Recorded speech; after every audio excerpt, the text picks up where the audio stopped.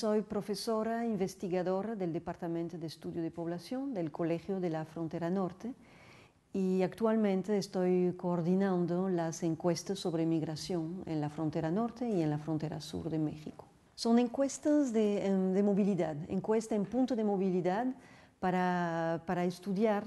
los desplazamientos migratorios, la migración laboral hacia la frontera norte de México y hacia Estados Unidos en cuanto a la EMIF norte y para la EMIF sur en los desplazamientos de centroamericano,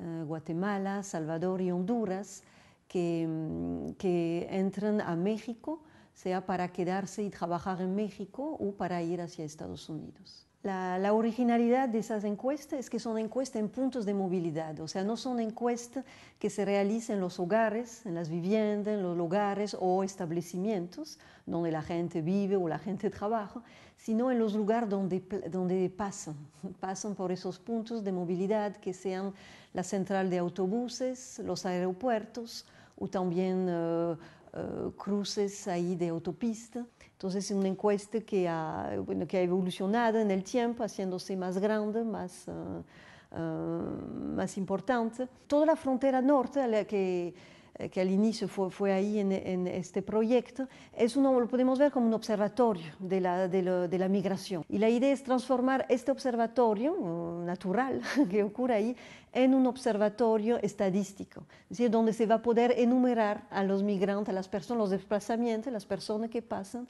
y dentro de ellos uh, distinguir a los migrantes para conocer sus características, porque el, el proceso sigue todas esas etapas muy rigurosas ¿no? que define la estadística, de, de, de, seleccionar, de hacer un marco muestral, después de seleccionar una muestra dentro de ese marco muestral, de verificar que cada selección está bien aleatoria, de, la, de los días en lo que se, eh, se, va a observar y de las personas mismas, y porque, porque aplicamos esa rigurosidad a todos los momentos, nos permite tener al final resultados que son muy rigurosos, que son científicos, que nos permiten hablar del, del, del fenómeno de manera general. Si usamos modelos, diferentes tipos de herramientas estadísticas, nos permite dar más robustez a los resultados, ver si dos diferencias uh, son significativas el uso de herramientas estadísticas nos permite ver, ver esto con precisión,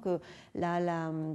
la estadística permite definir intervalos de confianza entre dos mediciones, entonces podemos decir con toda seguridad si esas dos mediciones son muy diferentes, han cambiado, el patrón se ha transformado. Por ejemplo, en la actualidad hay más, los cruces indocumentados han bajado más que los cruces documentados ¿no? para el momento de, cruzar la frontera. Entonces, ese tipo de información que, nos permite dar un resultado con, toda, con seguridad, decir eso ocurrió, no, no fue uh, no fue una visión del, encuestador o, del investigador, y eso permite también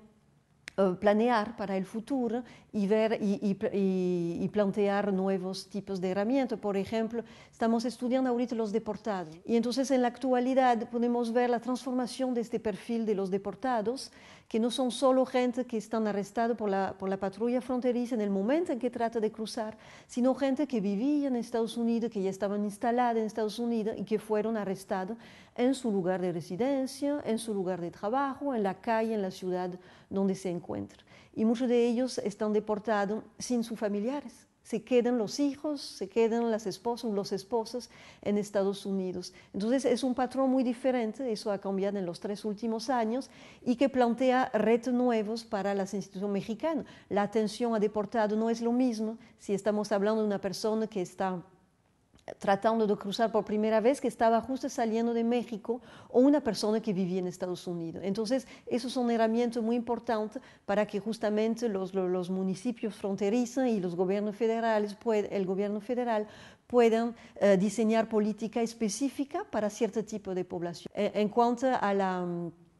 a la EMIF Sur, la encuesta sobre la frontera sur, también el conocimiento de los flujos laborales entre Guatemala y Chiapas, es, eh, conocer esa, frecuencia de cruce, de ese tipo de movimiento, permitió justamente al INAMI de diseñar, su, uh, su forma migratoria de trabajadores fronterizos.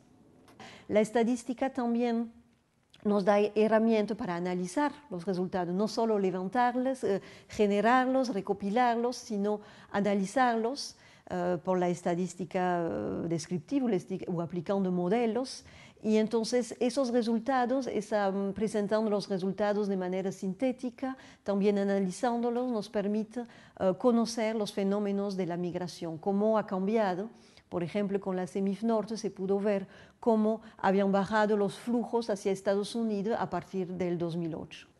La estadística no está al final, sino como comentaba, desde el inicio, desde el diseño. El diseño de la encuesta es basado en la, en la, eh, en la, estadística y, y, luego los resultados nos sirven para buscar más, entender más y plantear nuevas preguntas son herramientas muy, muy útiles que nos sirven a todos, a todos en cualquier momento, en cualquier etapa de, la vida, en cualquier uh, um, instrumento, transporte que está usando atrás hay herramientas estadísticas. y, y, también que son modos de conocimiento, acercamiento para tener un mejor conocimiento que no se agota en sí mismo.